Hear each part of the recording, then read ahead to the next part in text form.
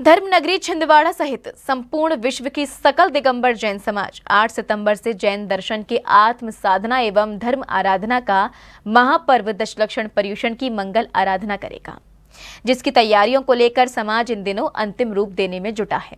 दशलक्षण महापर्व की तैयारियों को लेकर दिगंबर जैन समाज मंदिरों की साफ़ सफ़ाई, वेदियों और प्रतिमाओं का प्रक्षालन आदि करने में जुटा हुआ है उत्साह उमंग के साथ आत्म साधना के इस महापर्व में सभी डुबकी लगाने के लिए तैयार हैं। मध्य प्रदेश के छिंदवाड़ा के श्री आदिनाथ जनालय में भी आप देख सकते हैं कि कैसे दिगंबर जैन मुमुक्षु मंडल, अखिल भारतीय जैन युवा फेडरेशन एवं वीतराग विज्ञान पाठशाला ने तैयारियाँ शुरू कर दी है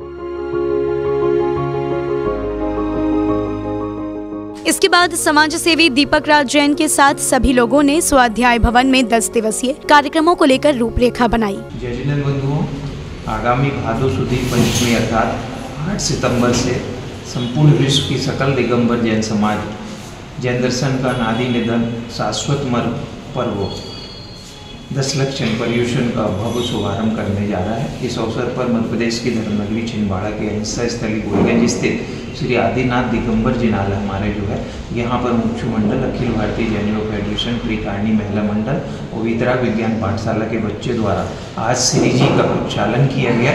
साथ में पूरे जिनालय की वैयवृत्ति करके पर्यूषण पर भगवानी की गई और हमारे यहाँ मीटिंग भी संपन्न हुई, जिसमें हमारे इस बार पर्यूषण पे आदरणीय पंडित श्री राजकुमार जी, शास्त्री उदयपुर विदुषी बहन ममता जी पधार रहे हैं, जिनका सुबह, दोपहर, शाम स्वाध्याय भवन में प्रवचनों का लाभ मिलेगा।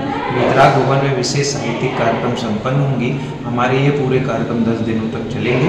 मैं मंडल फेडरेशन सकल जन समाज की ओर से आपसे सभी ने निवेदन करता हूँ। तीस अगस्त को आदिनाथ जनालय गोलगंज में मनोहारी जिन बिंबो, छत्र, अष्ट प्रतिहार्य आदि उपकरणों की साफ़ सफ़ाई भी की गई। जैन फोकस के लिए छिंदवाड़ा, मध्य प्रदेश से दीपक राज जैन की रिपोर्ट।